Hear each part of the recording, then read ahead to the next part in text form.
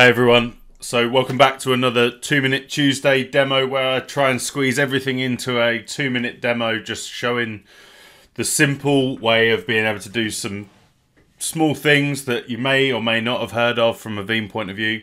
So today, well, a couple of weeks ago we touched on Veeam backup I/O control, so being able to control how much impact or if any impact was going to happen on the VMware data stores. Um, when a backup job was happening.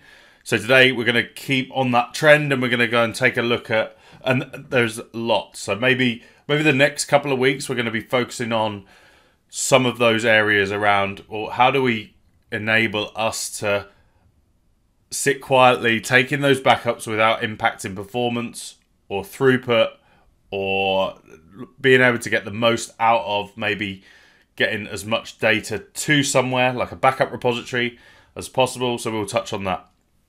Okay, so first of all, the use case here, and this one in particular, is on my home VBR server. So I'm at home. I think it's 65 meg download speed. It's a 20 meg upload. Let's say I don't want.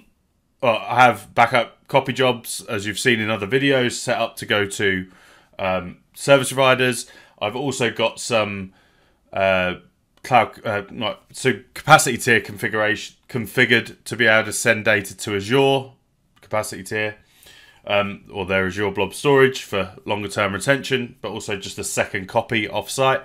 But obviously, my restraint is well during the day, I need all of that bandwidth available for all of these many Zoom meetings that we're on. So, and I, I, there's a way of automating this, and I, I probably will do a bigger video on this, but in terms of the the two minute, let's jump straight into where you'll find this. So let's remember my internet is shared in my house, used for all of my Zoom calls and everything else that's going on during these times.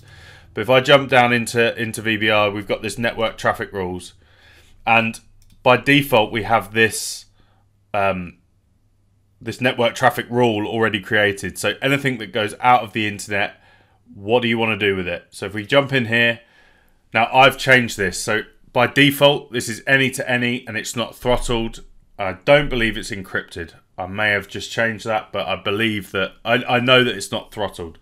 So name internet. So this is the default. Any source IP address, so basically anything within my network that VBR is controlling out to the internet, I'm going to encrypt and I'm going to throttle that. And I'm not going to do it all the time because obviously there's there's time between midnight and 6 a.m. You can see down below in this in this um, in this graph. I, I'm enabling or disabling the throttle, so this can go full hog. It can use all the bandwidth during this time, but during the blue time, I need that to be limited, and you can take one meg. Now this could be dropped down into into various different um, categories, or you can say just all the time. Really depends on what the network looks like and what you're trying to do. So that enables me to get all of my data, for the most part, off into a Cloud Connect backup repository, off to the cloud. Now, there are certain other options or rules that we can add here and we can basically say right anything coming from here to there i want to encrypt throttle etc. We can do that. More applicable, really, if you're in a, let's say, a wider environment, a wider network that you potentially are moving data between here and there, potentially all on the same layer three, but you you just want to be able to control some of that that encryption for one, but also being able to throttle that back so that we're not encroaching on any anything to cause issues from a either an internet point of view or just network in general. That shouldn't really be a problem in today's um, today's world and today's networking, but it will still be out there for some people. And then this one down here, this use multiple upload streams per job. So this ultimately allows us to have multiple, uh, well, as many upload streams as you as you can squeeze into that. So just reading the text improves job performance through better utilization. So if you think you've got five concurrent streams of data being sent up to the Cloud Connect backup repository, obviously that's going to get done faster, but it's also going to use a better. It's going to utilize those links better if they're high latency links. Um, if you're run, disable the option if you are running a large amount of concurrent jobs or for networking equipment compatibility serv- uh, purposes.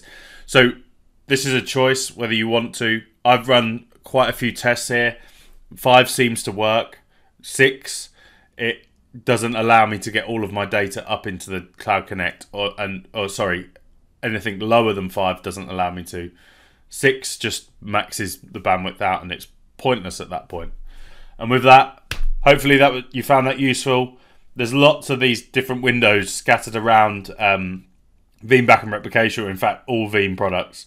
Um, I'll always encourage everyone to go and take a look, see what's out there. Um, yeah, until next time, thank you.